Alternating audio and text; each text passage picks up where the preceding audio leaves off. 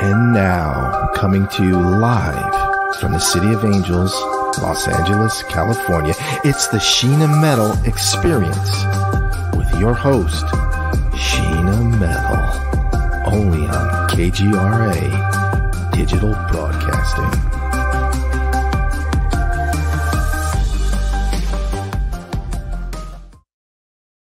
Hi, and welcome to the Sheena Metal Experience on KGRA Digital Broadcasting Network. I'm your host, Sheena Metal. I'm a psychic medium, I'm an interfaith minister, I'm a 29 year talk radio host in Los Angeles and beyond. I'm a creative and a performing artist, and I come to you live from my home in Southern California every Friday at 3 o'clock Pacific time. This show is about spirituality, it's about creativity, it's about humanity, it's about passion, it's about service, it's about becoming and then being your absolute best you in this big, beautiful world, and then inspiring others to do the same. And every week on the show, it may be my show, but it's always without a doubt your experience. And my guest today has been on so many of my shows so many times, I can't even count, but it's the very first time here. Um, wonderfully talented uh, writer, director, producer, uh, spiritual being, creative being, and one of my favorite people in the whole world. Uh, please welcome to the show. The wonderful Katherine Brooks is here. How are you, my friend? Creative being. I like that. You are, and a spiritual being, right? You are both, Yeah. and we have discussed both even before I came out of the psychic closet. Um, we had many spiritual discussions on the air. We talked about this kind of stuff. I And love it. Yeah. I, I don't know. For me, I can't imagine being a creative without being spiritual. I know there are people that do it, and I respect that. But for me, that channel brings everything. So it's all part of the same thing, you know? Absolutely.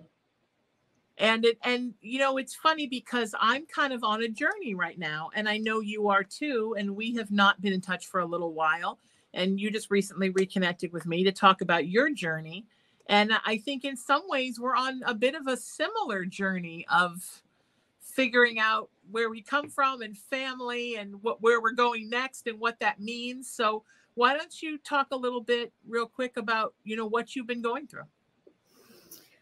Well, I um Michelle, my wife, got me a DNA uh, test kit from 23andMe over nice. Christmas. And I I'm adopted and I had searched uh most of my life for my birth mother. Um probably around the age of 15 I started looking for her. And just it never happened and around my 35th birthday I I just I had to let it go cuz I, I it was just like I would I, I couldn't handle just the disappointment of not being able to find her. And I was like, it was a private adoption. It was done through a lawyer. So anyway, I'd let that go.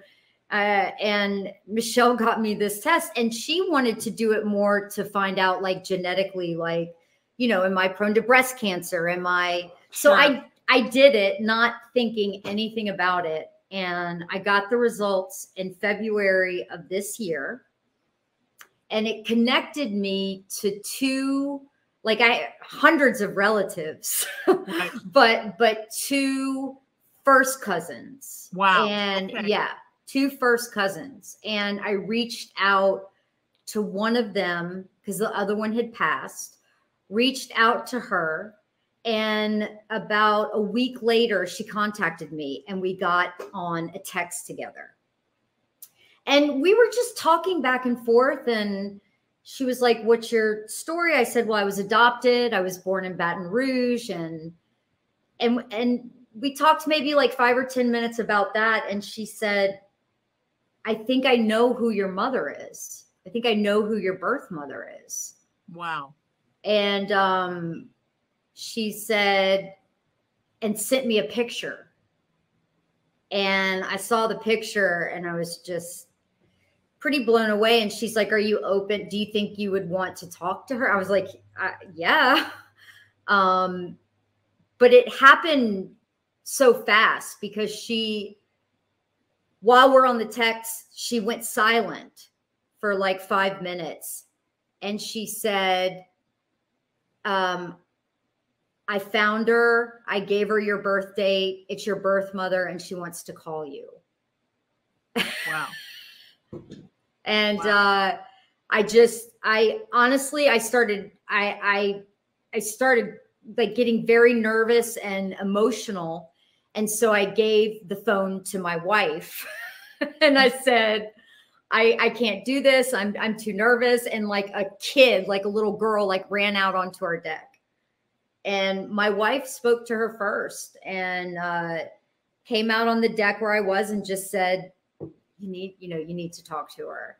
And I got on the phone with her, and she was crying, and she's like, "I I never wanted to give you up. I was 15." Yeah, uh, my dad was a colonel in the military, and I wanted to keep you they sent me away to a school for pregnant unwed moms when I was 15 and they she said I was just under the impress I I just always I didn't know what pregnancy was. She's like she was just telling me all these things and and I just yeah, it was it was so intense and then I was in LA at the time well, I was here for a week hiatus on a show that I was directing in Los Angeles. So while this is happening, I'm directing that Magnolia show that I just did.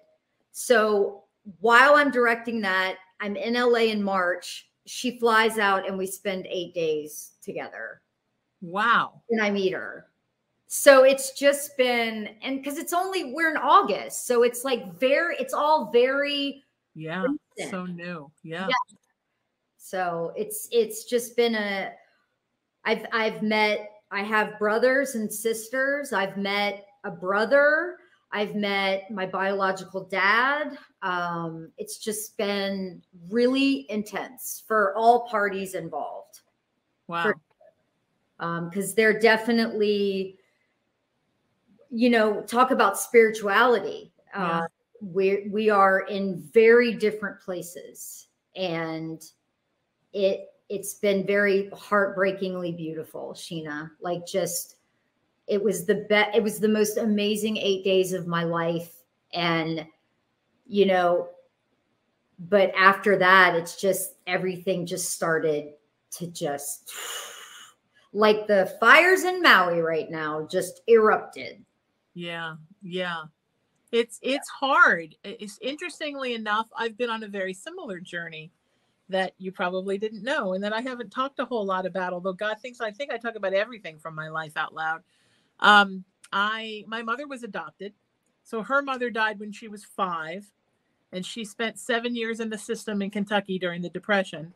And then she was adopted by the folks I knew as my grandparents when she was 12.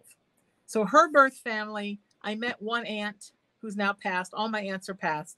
Um, my mom kind of wrote letters with them sometimes. I, I know one cousin in San Antonio, but we've never met, but we're Facebook friends. So mostly I did my 23andMe to find her family. Now, I was a donor baby from Yale's experimental program in the 60s. So I have no idea who my father is. And I never really cared. I just wanted to find her family and find out where she came from. Um, my mom swore I looked just like the obstetrician. So I grew up my whole life thinking I was half Irish and half Jewish. And my biggest fear when I opened that envelope was that my mother wasn't going to be Irish because so much of my identity is wrapped around being Irish. I'm like, what if it comes back and she's not? Well, the first thing I saw was 100% Irish on mom's side. And I'm like, okay, well. And then I'm looking at my dad's side and it says 100% Italian. And I'm like, what? And it was this whole like I never expected, right? I never had any connection, never expected. So unlike unfortunately, unlike you, I didn't get any first cousins. I have like first cousin once removed to the closest. But almost all of them are on his side. And they're all very friendly until they realize I don't know who he is. And I think probably the word in the family is, you know, Uncle so and so gave out sperm and we don't talk about it. So they kind of come in real hot and then they disappear. And on my mom's side, I've met some lovely people. But I think once we become Facebook friends and they realize that I'm a queer psychic and they're all in Kentucky, it's a deal breaker. So they all disappear. So basically, Mhm. I've met all these great people and everyone has disappeared.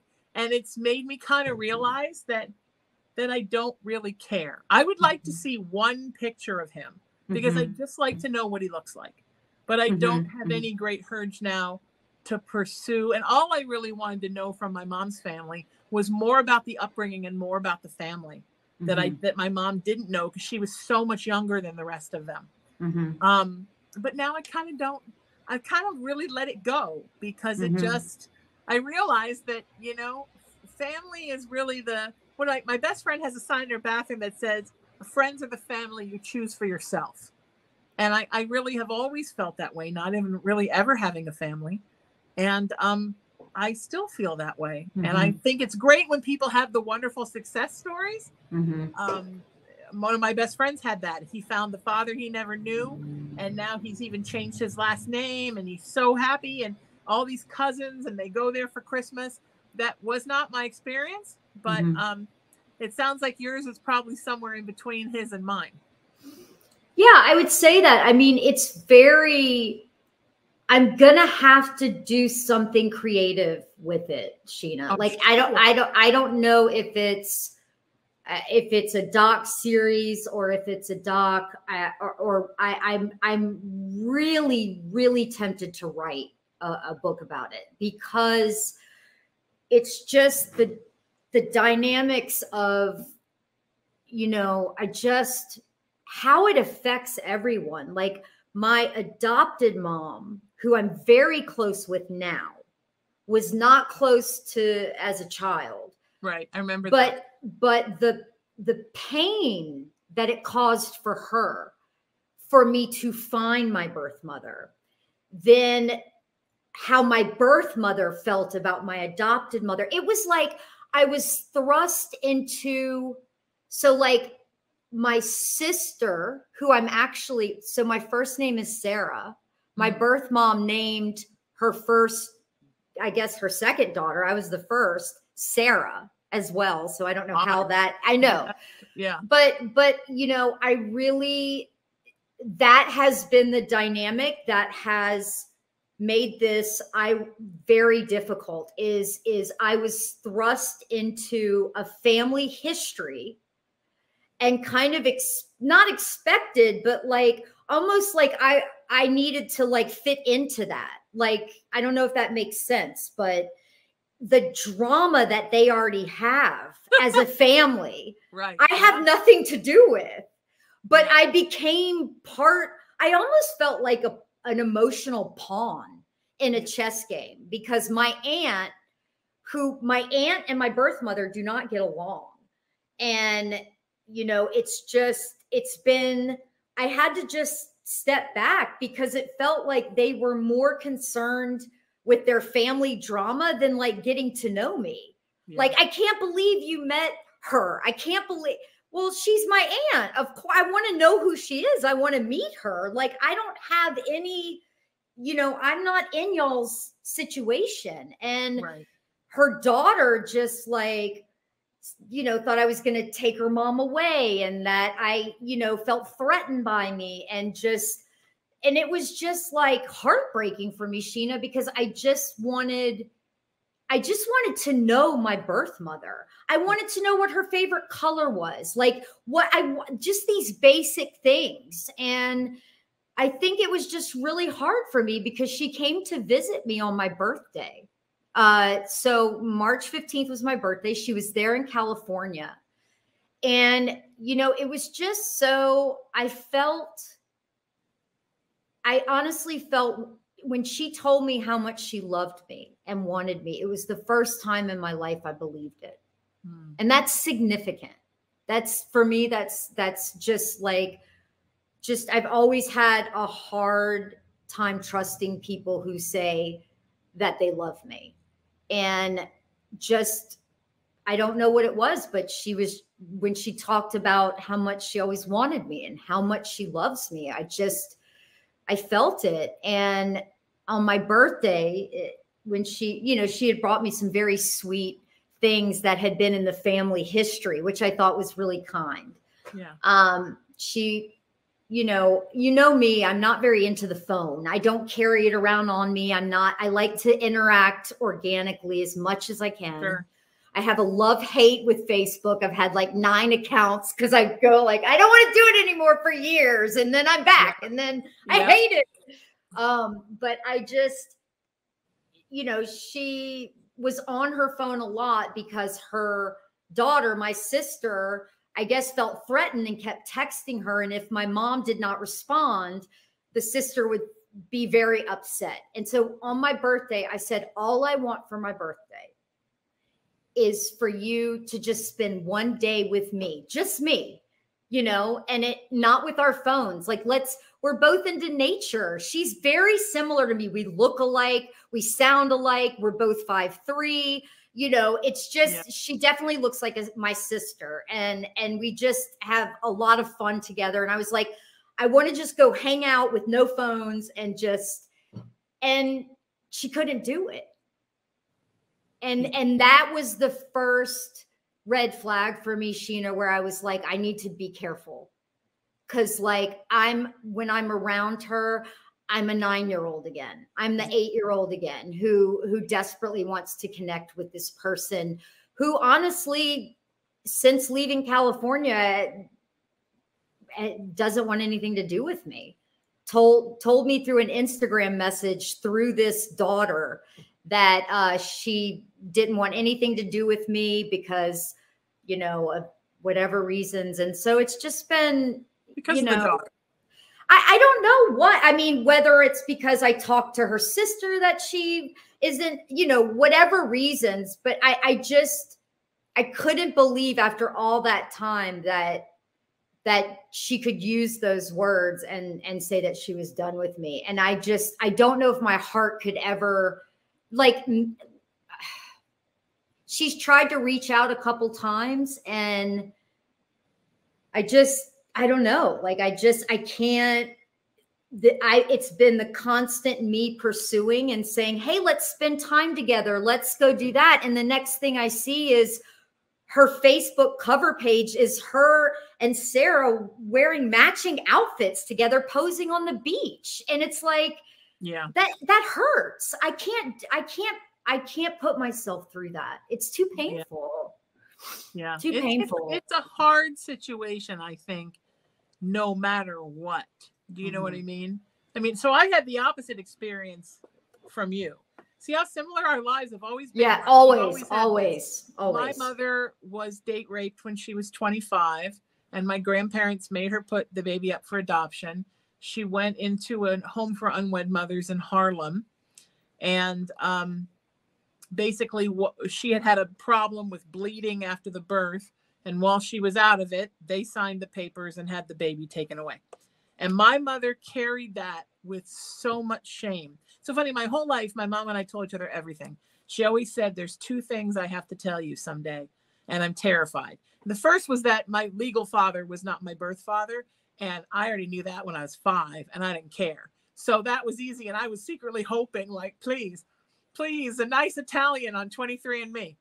Um, the second thing was this, and she didn't tell me till I was 25 and she cried the whole time and my mom was you know a tough woman who survived the depression and didn't cry all the time because of all the shame she had been put through surrounding being raped at 25 after being drugged as a virgin getting pregnant being in this home for unwed mothers. They only let her come home one day for christmas and they made her stay in the attic and they made her wear a big coat and try to hide i mean Oh yeah, yeah, right? yeah. So I, like the foolish, idealistic Aries that I am, encouraged her to go and find my sister. And after a couple of years, she did. And it was the opposite, where my I've, ne- I've never talked about this publicly. So you're the first one, my friend. My sister showed up and was extremely antagonistic towards me and very, very angry. And I didn't understand what was going on. She would do weird things like I was doing the vagina monologues in Manhattan and I got her tickets to come and she never came. And then she called my mom and told my mom, like, oh, well, she ignored me and never gave me those tickets. And I'm like, and then my mom got mad at me, like, why are you trying to shut her out? And I'm like, what are you talking about? So with little things like that, right? So then she caught herself in a couple of those things and my mom realized what was going on. But one night I was out at a club with some friends and I was telling the story. And the woman I was sitting next to was also adopted and had found her mother and was had was in a complete antagonistic relationship with her sister and she said well how would you feel if you finally found your mother and then there was this other girl that got your mother their whole life and i was thinking i'd just be thankful i found my mother but apparently you know it's a thing that sometimes adopted kids are very resentful of the siblings who've been there the whole time and sometimes the siblings who've been there the whole time are resentful of the adopted kids. So I dealt with exactly what you dealt with um, on the other end of that. Mhm, mhm. And what what wound up happening was after about a six months or a year, there was just no contact with her, and that's really okay with me Mhm, because she just wasn't very nice. mhm. Sadly, she'll Yeah. probably watch this someday, and I'll get a nasty email. But okay, um, okay Me um, too. yeah, you both of us. We're gonna we're gonna commiserate when the emails come in. But you know what? You know we you. I mean, I I don't know why your sister's like that. I don't know if maybe she didn't know this whole time or what her problem is. she but- knew she knew. She was by the by the time that she could understand it my mom told her. And Yeah. at first when we first found out about each other because i was adopted and an only child and she is the only girl. So at first it was like oh my god we're sisters. We got we like got matching like little butterfly necklace. It was like when you said it came in really hot and fast you know Yeah. like oh my god a sister a sister sending sweet Yeah. songs and like and and you know i just think that it goes back to to that the one thing she said to me in the beginning she's like i'm used to being the only daughter Okay. and and just I, I i i don't know what it is she i i think that when my mom spent those eight days with me it was i've always been very you know pro mental health talk Right. about things Mhm. you know if you have depression i mean i did 23andMe like i got depression i mean i take medication for depression i'm not ashamed of that Right. and i battled with anxiety for a long time and i've i don't but in south carolina you know some people don't believe that mental illness is really a thing. And when i was with my mom it there was some serious signs of depression and anxiety. And she even told me she's like i first had a panic attack when your grandfather, my dad, like I woke up from having a C section thinking that you would be there and you were gone. I never got to hold you. He Same just, yep, same Yeah. thing. Mhm. and she said that's when my panic attack started because he moved me to South Carolina from Louisiana. And so she spoke to me about her anxiety. She spoke to me about not being able waking up in the middle of the night with worry and you know crying and so when she left California and everything just kind of blew up for whatever reason everything was great and then it was like not great. I I finally told my sister I about a month ago I said I don't care what happens between you and myself but please look please get her you know and i told that to my mom. I'm like please just see someone about depression. If anything comes from this like i you shouldn't cry every day and wake up with worry and and i and it's like and like my sister's like there's nothing wrong with my mom. You know my mom is perfectly fine. And that's when i was just like Right. goodbye. Like I, it was really sheena like that's the first time in my life i've ever like just typed goodbye and like that was it. Like I, i'm just like goodbye. Yeah. you Yeah. know because that you know it breaks my heart because that is my birth mom and i know me and i know the connection we had over those days and i know she struggles with that. And i just i hope that one day that she will be open to taking something for depression or anxiety and and not be ashamed of it. Like i mean it's it's just really it's a it's yeah it's uh And bitter it's so sweet commonly passed between mothers and daughters. I Oh, have yeah. anxiety. Yeah. It's so commonly passed that way. Yeah, and And it's so think it's- 1990 to be embarrassed about depression. I mean, if I know. I don't if you're not on a medication or a supplement that helps with that, I Right, right. Yeah, no, I I 100% agree, but I also think that and I don't think it's I mean, I think regionally, yeah, there's certain regions in this country that have a lot of work to do to Yeah. catch up. But I also think it's just individual families. I mean, you'll find Mhm. people right here in Los Angeles that don't believe in that. You know what I mean? It's it's um either you're expanding your mind and you're growing or you're not and some people don't want to and it's very hard for someone to break out of their situation, out of away from the people that they know. Yeah, and I think that's what happened is uh, because I told her when she left, I said, you know, because we did so much kind of work ourselves, like it was very intense. Like she told me things she's obviously not really ever shared with anyone, like, Yeah. you know, and there were wounds that were opened for both of us. And I told her when she left, I said, you're going back to South Carolina to a situation. So my grandfather, who basically stole me from her, Mhm. sold me to Mm. this adopted family. Sure. sure. Um, she now takes care of because he has dementia and he's 92 Mm, and mhm. she takes care of him.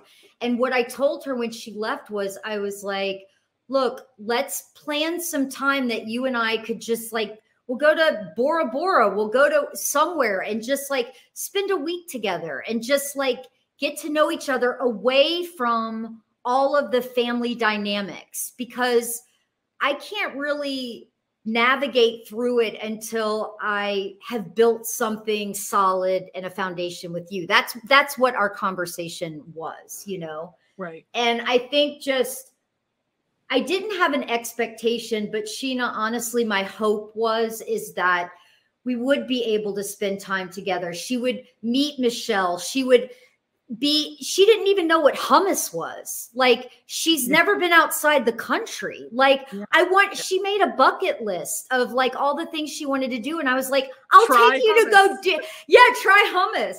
I'll take you to these places and Right. I've been all over the world and I I had this like when I was a kid that I fantasized about what she would be like. I started that like, oh my god, we're going to get to travel and I'll get to show her new things and like, you know what I mean? And I think that no one in her life in South Carolina wants her to experience that. I really feel like they want her to stay right where she is, I right agree. with them. Yeah.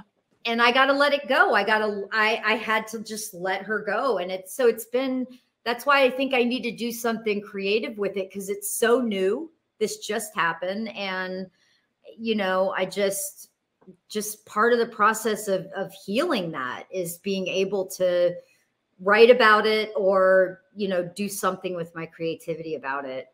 Yeah.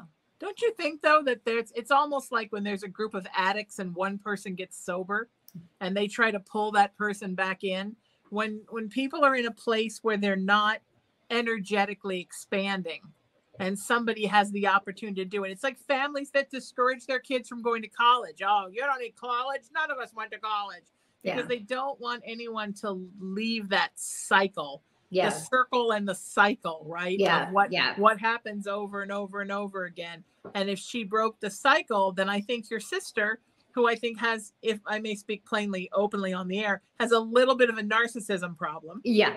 Yeah. Um, would have been upset because suddenly then your mom would have done things she's never done, and your mom would have done things without her. Yeah. Yeah. Exactly. So Yeah.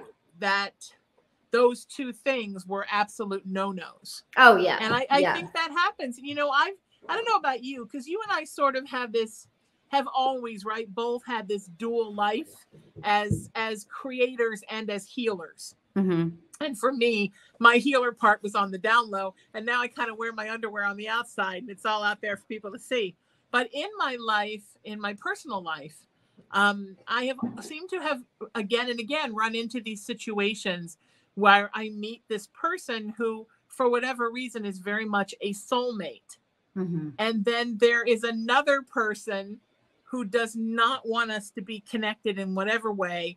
and literally pulls them away. And that has Mhm. happened to me in romance. It's happened in friendships. It's happened in work. It happened in family with my sister, but I'll put that in quotes because I have not seen the DNA yet. Mhm. um, you know, and and I, every time I'm so heartbroken. Mhm. And this healing journey that I've been on this last year, because I don't know if you know, but but I moved into my childhood home, and I was gonna just come down here and fix it up and rent it, and I fell in love with my mom's energy everywhere, and I stayed. So Oh. now I'm mostly here at the beach and sometimes in the city, and um, it's given me a lot of time to go back and think about everything from Mhm. when I was 13 and we moved here forward. And I've realized this is a pattern. And I think that it's probably something a lot of people deal with, but especially when I think you're a healer, you, you know, you find these situations with these little bits of, of energetic perfection. And then some darkness swoops in and sucks it away. And I'm not sure why it happens, but I do know there's a lot of us on the earth that it happens to again and again and again. Yeah. Yeah. And it's um and, and i think energetically it's the balance of darkness and light in the universe right yeah because all the wonderful things that you and your mom could do and the amount of healing that it could bring to you both i mean both of Yeah. you she might not need meds anymore No. you might not need meds anymore no to just really have that relationship yeah But yeah then there has to be something standing in the way Yeah, it's true. I mean, it's like uh, it's spiritual. It's like every great story, screenplay, movie. But I think that you're right about the healer kind of energetic journey because I feel like from from the time I first started traveling to other countries to really study whether it was in Costa Rica with a shaman or it was India on an ashram, like I've always that has always been the forefront of everything in my life. yeah And so for those for those 8 days so much healing took place and so much I, I mean, I can't even explain it. It was just such a, a beautiful flow of just healing, healing. And you're right. It's it's I think it's darkness, but I, I I think darkness is fear because everything that happened during those eight days was unconditional. It was like even on that day with my birthday, and we worked through that. Like it was another layer of working through something sure and and when she got back to to this small town uh, around my grandfather around uh, a, a man that is not very healthy for her if i may Well, just be technically, back to the abuser, right? Back to the, yeah the yeah one who caused the problem in the first yeah place. yeah and all these other things and just the town in general just you know kind of um you know it went from being this like beautiful healing connected thing to her telling my my biological dad that I drugged her and that I'm crazy and you know things that I know you have dealt with because of whatever things that you have and you bring to a connection maybe that person like I I don't know but it's I've come so far in my life and my healing and and who I surround myself with and my esteem that you know I don't doubt who I am. I know who I am. I know I'm a good person. I know uh, what I have to offer and you know, I, there's just there's there's now a no tolerance rule for uh cruelty. Um and so yeah, and it's been honestly, Sheena, it's been empowering to have to come through that Mm. you know what i mean to to have to now heal and work through you know just kind of what happened after that time period we spent together and uh Yeah, and then Yeah. you drugged her. I mean, it's it's almost Yeah. like she was punishing you for how much she cares about you yeah and yeah punishing you for how much she feels about you. Yeah and I think that is something that, first of all, I see it every day in my spiritual practice, yeah multiple times a day. But in my Yeah. own life, I'll just speak about me. Yeah, I've been in situations where I have had the most beautiful connections with another human being. And either it scared the shit out of them Yeah. or it scared the shit out of somebody in their life and they made Yeah. them feel bad about it. Yes. And then suddenly it's, oh, well, are you like bewitching me? Yeah. Put a spell on me. oh, I hypnotized her. I hypnotized Of her. I did that too. Of course you did, right? Because we know that all directors are expert in hypnosis. Right. hypnosis. That's how they get good performances. Yeah. Yeah. Um, yeah, it's and I think it, they have they're looking for that external bad thing Yeah. Yeah. that caused the fact that the the connection that she felt to you just made Mhm. her feel out of control. it but you just it yeah. It Yeah. made you feel out of control when you really, really connect to somebody you have a soul Yeah. tie with in any capacity. It Mhm. blows your mind. It Yeah. blows you out of your body a little bit, and it's a little scary. Yeah. But, yeah. but you have to just learn how to live with it till you get back in your body and you Yeah. get used to the feeling, and then everything becomes okay. But Yeah. some people become very fearful, and I think people like you and me, who for whatever reason love with reckless abandon, I will Mhm. blame my mother for me because she taught me to love that way, and she loved me that way.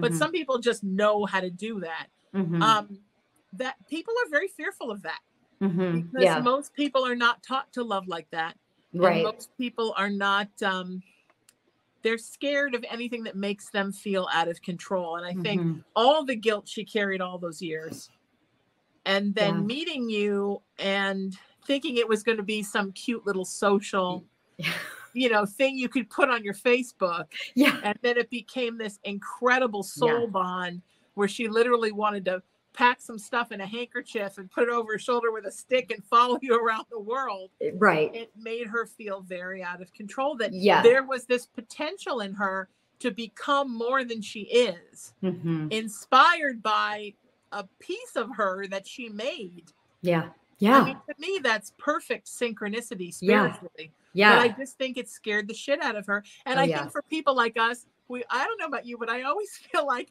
i'm sitting alone in the sandbox like ah shit i scared the fuck out of somebody yeah. I'm too intense for another one. No. Oh. scared everybody again. and every time I think I'm going to back the intensity off, and then I look around and I'm in the damn sandbox, and I'm like, I scared everybody again. So I think we become very PTSD about that. right? Yeah, About that yeah. feeling. Yeah. Like, wow. Yeah. And and the reckless abandon that you talk about because you have to be very you know, I mean it's I, I'm so glad that we got to talk about this because I it's so important to have, you know, some people it's like the most important thing to them is love or passion or money or artistry or mine has always been to just be understood. You don't even have to like me or agree with me, but just to to to be understood is such a recognition. And every time I talk to you, I just it's so healing for me because you get it, you know, Yeah. and it's like I don't, eh, you know, I I don't have to to say much of the story because it's like you you and and that's family, that's friends, and I and agree. You need those types of people when you are when you are psychic when you are a healer when you are a medium all of those things that i am and and not Yes. totally out with yet but about Yeah. to be Right. um But you have come out on my show a couple i i have come out on We've your show some- i have We've i had some good ones on my show about it. Oh yeah. yes, that that is true. Um, I, but I always that's why it's always so good to talk to you because I just I feel like I can share what I'm going through and you get it, and it makes me more almost confident in sharing it publicly Of publicly Well, if that makes sense. and then it, you know in it, then it makes it okay for me to share mine and you to share yours and somewhere there are people listening who need to share theirs Yes, and that's yes, why i've been so open about everything with me whether it's my my psychic abilities or the fact i don't know who my father is or the fact that my mom didn't know who her father was although now we do know because the 23andMe came in and her father actually was her father. So one of us knows the truth. Um how close i was to her and how devastated i was by her death Mm, um growing up and discovering at 31 that i was intersex i mean all of these Mhm. things mhm. I don't. I went when I was.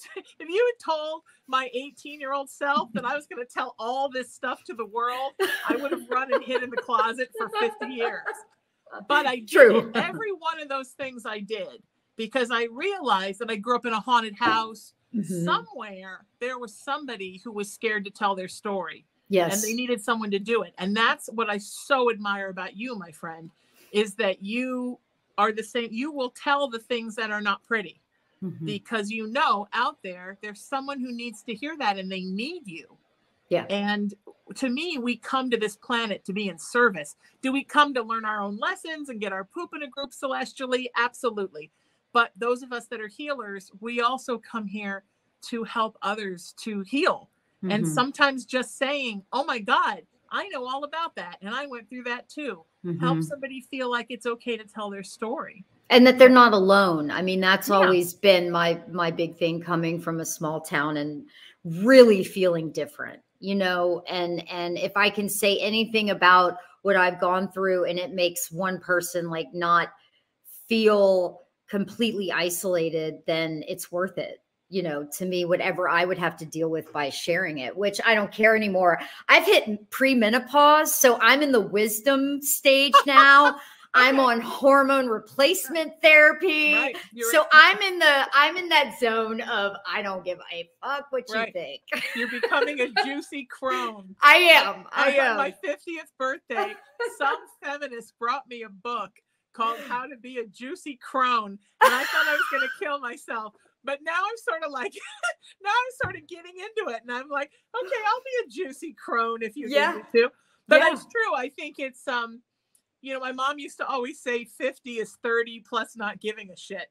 And I, I think you do, you get to the point where you think, no, I'm just going to be honest. But, but now let Yeah. me ask you this yeah and this is something that my healing journey, something that I'm going through right now in this healing journey.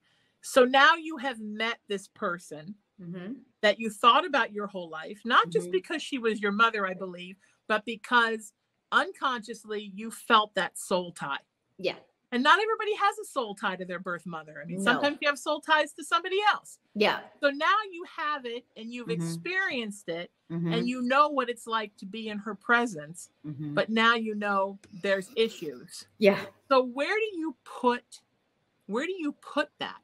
Where do you put that intensity and that soul tie and that feeling of knowing what it would be like to be with her all the time and be connected to her, knowing now that that connection is very staticky?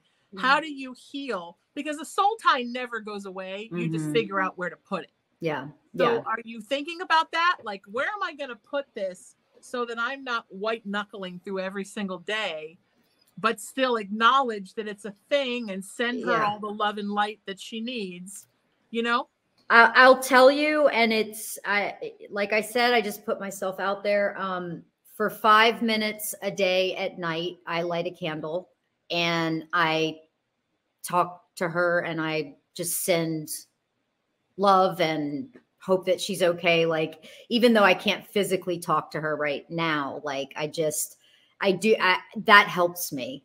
Um, I did, I did, I did write letters in the mail, but I'm not doing that anymore. My nine year old and I had to have a talk. Yeah, I think that's smart. Um, yeah, but just, you know, five minutes a day, kind of like what I feel like I want to share with her and what kind of love and unconditional kind of support on her journey I want to give. And it's, it's made me not white knuckle and it's made me not be so angry and, and horrified and upset. yeah, it's a beautiful way to deal with it. It's a beautiful way to handle it.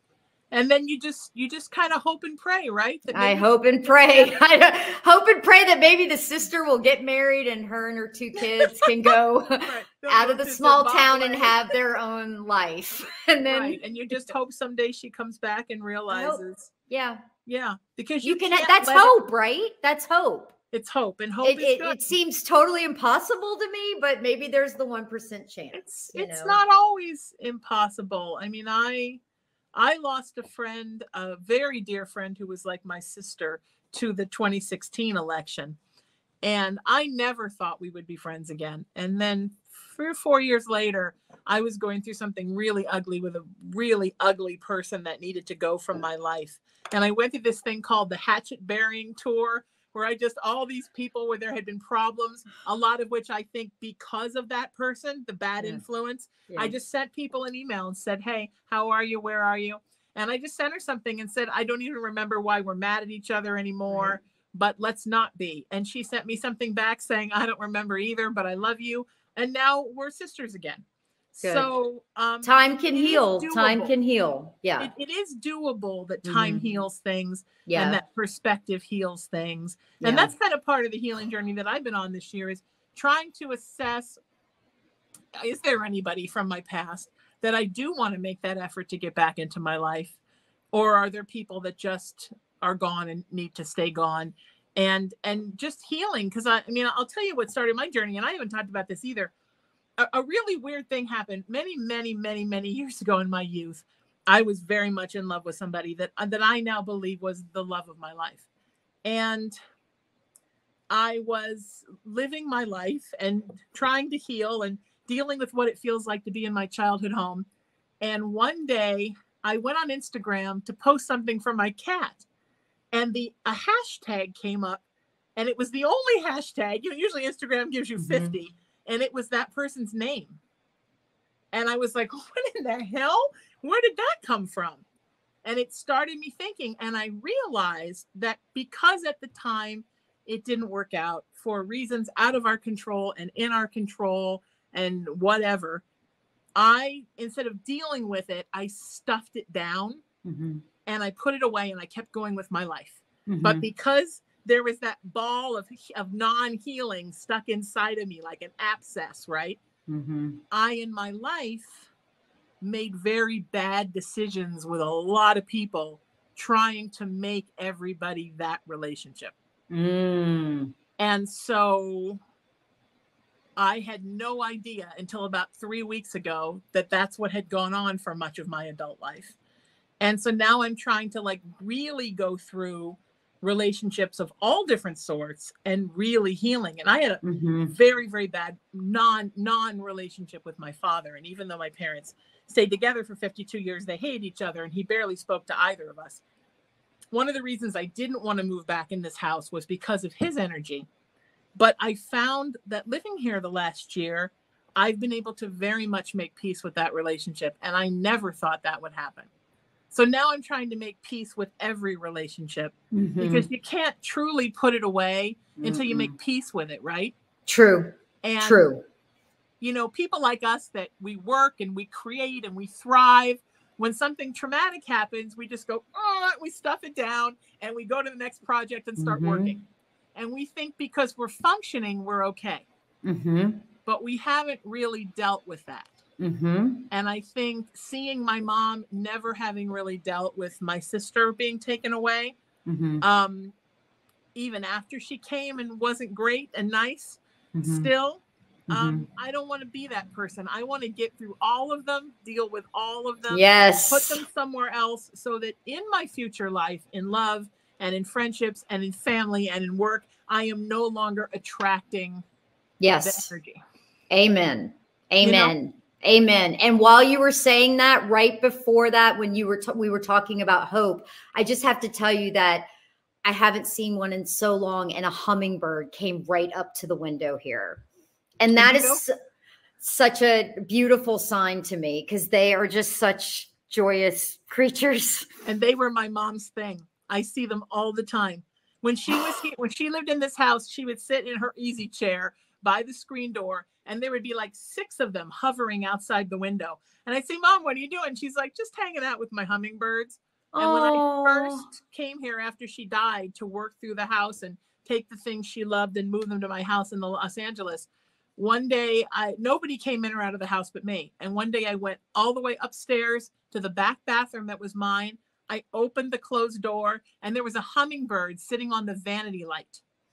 I don't know how it got in the house. I don't know where it came from. It wouldn't leave. I had to like cut the screen out and pin it back so that when I left the house, it had somewhere to go. Mhm. I see them all the time. When when Yeah. after she died, they would hover outside of my window where I was working. And you know that studio was four stories up.